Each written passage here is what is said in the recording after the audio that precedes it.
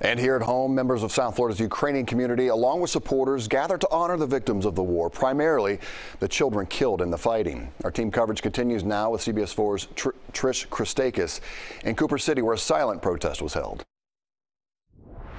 When children are dying, that's a, the, that shows the cruelty of that war, because children doesn't deserve to die. Around 200 people and young children lit candles and said prayers Saturday night to honor the lives lost in Ukraine. Official data suggests that uh, more than 150 kids died and around 200 kids wounded. Florida for Ukraine and St. Nicholas Ukrainian Orthodox Church sold flags, shirts, bracelets, and more.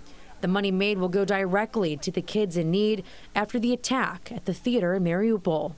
Right now, the official data suggests that 300 people died there and uh, you can you, I can't even imagine what happened, what panic, what is what, what, what a disaster that that is. Lamesh is expecting to raise between five and ten thousand dollars to send to Ukrainian foundations to transfer a, a, severely wounded kid, like who's literally dying, from Kiev uh, of, uh, to Rome, for instance. It costs six thousand dollars to transport such a kid. They're hoping money raised at this event can help fund one of those trips.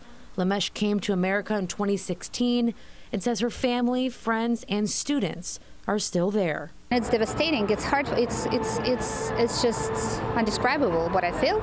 A very emotional evening Saturday. They're hoping events like this bring more political attention and donations for families and injured children. Reporting in Cooper City, Trish Christakis, CBS News this morning.